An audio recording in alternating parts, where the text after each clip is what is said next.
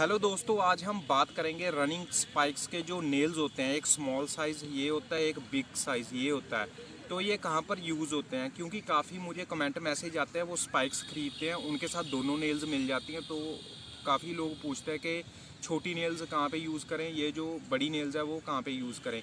तो हमेशा याद रखिए, जो ये छोटी नेल होती है, ये सिंथेटिक ट्रैक के ऊपर यूज़ होती है और ये सॉइल ट्रैक के ऊपर, यानी कि मिट्टी जो होती है ग्राउंड होते हैं, उनमें बड़ी नेल यूज़ होती है शूज़ में। ठीक है, जो छोटी नेल का साइज़ होता है, ये जो थ्रेड साइज़ है, ये आप, जो चूड़ियाँ देख रहे हैं, जो टाइट की जाती हैं शूज़ में, उसका साइज़ पाँच एम होता है और ये जो ऊपर का साइज़ है, इसका चूड़ी के ऊपर का साइज़ वो 8 एम mm होता है छोटी नेल का और बड़ी नेल का ऊपर का साइज़ 12 एम mm होता है और 5 एम mm इसका थ्रेड साइज़ होता है। तो सबसे पहले हम बात करते हैं ये छोटी नेल सिंथेटिक ट्रैक के ऊपर क्यों यूज़ की जाती है। तो इसका मेन कारण ये है, देखिए जो सिंथेटिक ट्रैक होता है उसकी एक तो मिट्टी से ज़्यादा पकड़ मज़बूत होती है और वो थोड़ा हार्ड होता है, मिट्टी से। तो उसके ऊपर अगर आप बड़ी नेल पहनकर दौड़ोगे, जब ये जो नेल होती है, ये डेप्थ में जाती है, उसके बाद भागते हुए जब आप अपना पैर रिलीज़ करते हो, पैर उठाते हो ठीक है तो आपके जो मसल्स के ऊपर लोड पड़ता है, क्योंकि वो सिंथेटिक ट्रैक जो होता है, वो थोड़ा हार्ड होता है, जिसकी वजह से आपके मसल टाइट हो जाते हैं, यानी कि मसल्स का दम ज़्यादा लगता है पैर को रिलीज़ करने में। उसकी वजह से क्या होता है मसल टाइट होते हैं और आप परफॉर्म सही नहीं कर पाते।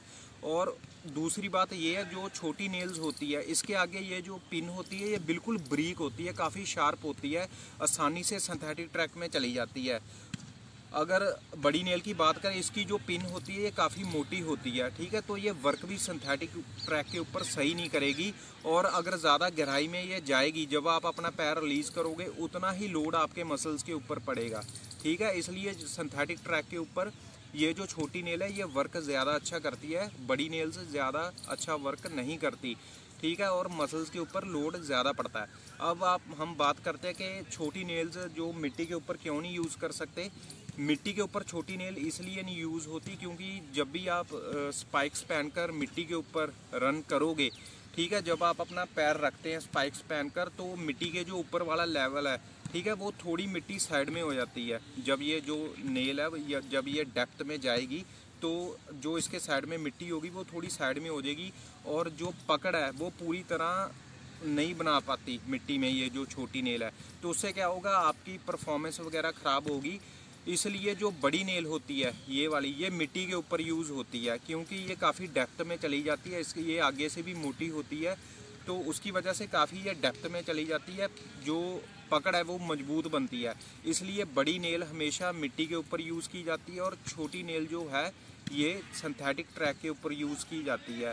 फ़र्क इनमें यही है, एक तो साइज़ का फ़र्क है, दूसरा ये जो पिन होती है ये बहुत ब्रीक और शार्प होती है, छोटी नेल्स के जो ऊपर होती है। सिंथेटिक ट्रैक में आसानी से ये अंदर डेप्थ तक चली जाती है और जब पैर अपना आप रिलीज़ करते हैं तो ज़्यादा लोड नहीं पड़ता मसल के ऊपर। जो ये मोटी नेल है, उसका उतना ही लोड पड़ेगा और वर्क भी ये सिंथेटिक ट्रैक के ऊपर सही नहीं करती।